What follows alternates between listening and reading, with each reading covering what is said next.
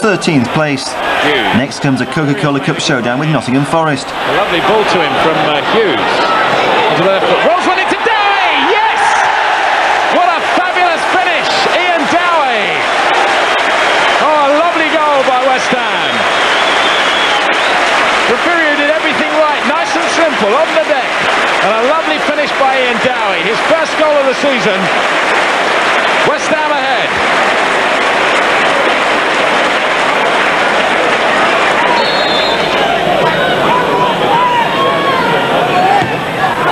Well, that was a free kick, a chance here, and it's in.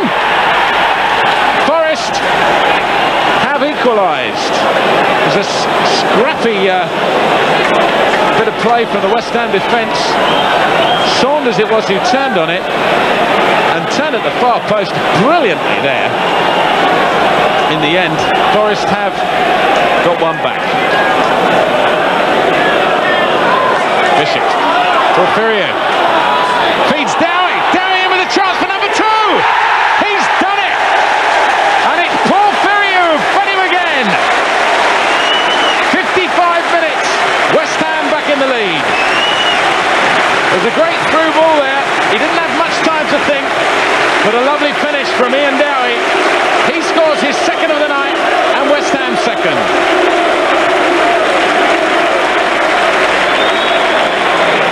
Well, it's for Forest to come to West Ham, really. Fury just gains in confidence, it seems, every minute of the game he plays. Owen held off his man, uh, Moncur got it, Dowie takes it, and Moncur will get the rebound. Scot Gemmill tried to take it through, but Bart Williams had already committed the foul. West Ham have a free kick. Slightly disappointing on free kicks this season, really, West Ham. Scored from uh, so many last year.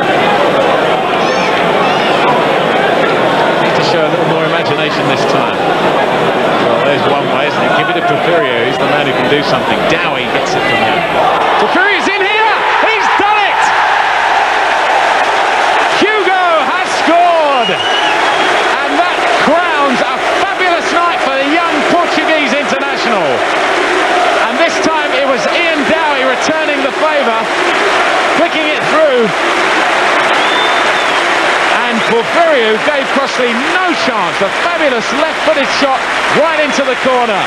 West Ham 3, Nottingham Forest 1. A little more confidence about West Ham now, a little less dithering when they're on the ball. It's good to see. Bishop. Much more of a playmaker this half. That's a long speculative ball which uh, Lazaridis may get on the end of. Looked like he was pulled over. Yes!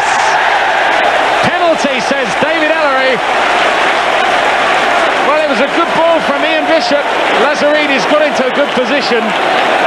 And well, Alfie Haaland, who's really had an absolute nightmare tonight. It's about the first thing he's done the game.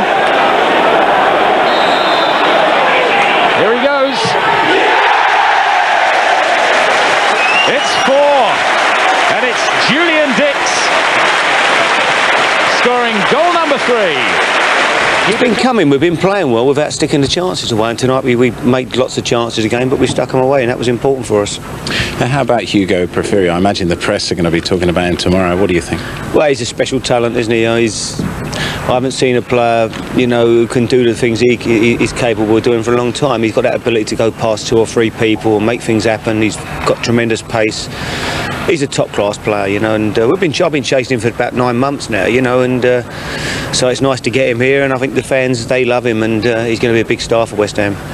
Well, let's, let's just um, think a little bit about Tony Cottee, who's kind of slipped out of everything, slipped very quietly out the back door, it seems almost to me. I mean, we heard his message over the tannoy tonight. Um, what were your thoughts on losing him? Well, I was disappointed to lose Tony. He's a, he's a good player and he's done a great job for the club. But you know, the uh, Malaysian club came in and made an offer, you know, just around about the eight hundred thousand pound mark, and that's the sort of money I need to buy Porfirio with. So obviously, it was business we had to do. Um, you know, I, I didn't want to lose Tony. I've got a lot of respect for him. He's, he's again done a great job for us. The year before last, his goals kept us up.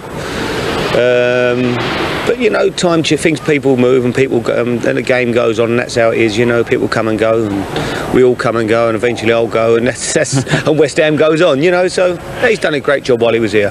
Well, you're still here for Saturday and, and Blackburn. What do you think? Tough game. Blackburn, if you look at Blackburn, you'd say they were one of the strongest teams in the country, strongest squads in the country.